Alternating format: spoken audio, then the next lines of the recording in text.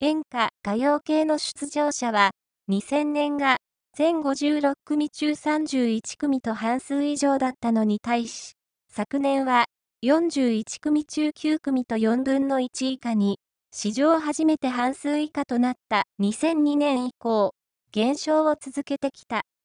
音楽事務所の幹部は、紅白の人気を支えてきたのは演歌勢なのに、五木さんまで出なくなるとは、演歌、歌謡系の出場者は今後も減らされていくだろう。との見方を示した。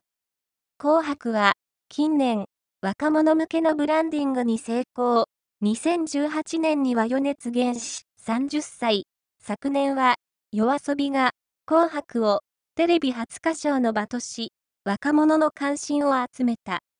二組とも初出場ながら、異例の中継での出番が用意されたことは、紅白独特の盛り上げ演出に参加したくない若いアーティストの間で話題に紅白が視聴者、出場希望者ともに若者の掘り起こしに成功した結果、年齢層の高い演歌、歌謡系の出場枠がますます圧迫された。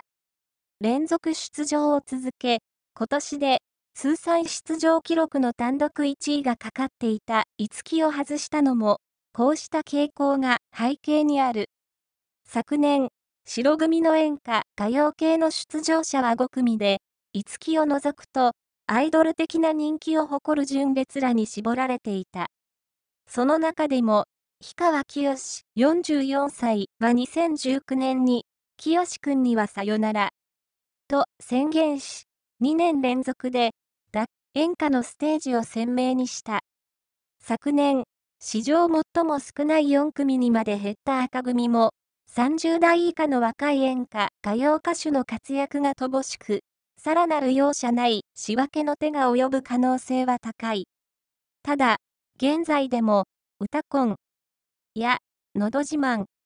などの番組を通じて、最も演歌、歌謡に力を入れているのが NHK。それだけに、若返りする紅白の受け皿となるような番組を作るなど、演歌、歌謡勢にどう向き合っていくのか注目される。